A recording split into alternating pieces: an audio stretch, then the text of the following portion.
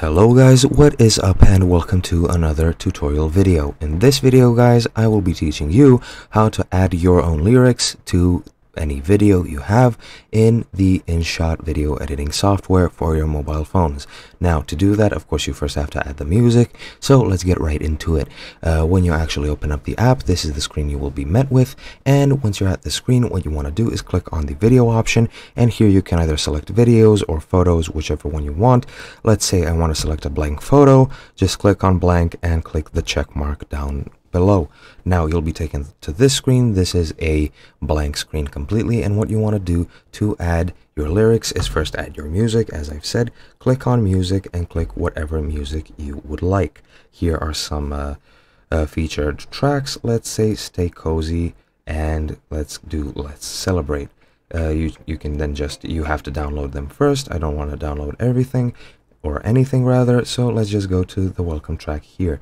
Click on use and this track will be added. Uh, what you want to do next this is the audio uh, or the music option. First let's uh, increase our video length or rather the screen length. Sorry for the notification guys. Now once you've increased the length go to here and now you'll see the video down below and above you'll see the music.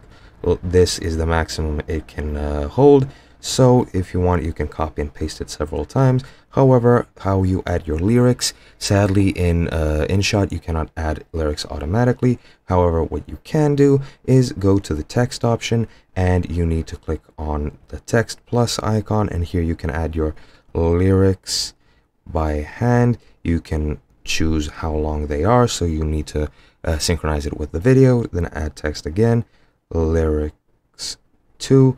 And now when you actually play the video this is what it will look like and that is pretty much how you add your lyrics guys. I hope you enjoyed and i hope you learned something new and i'll see you guys in another video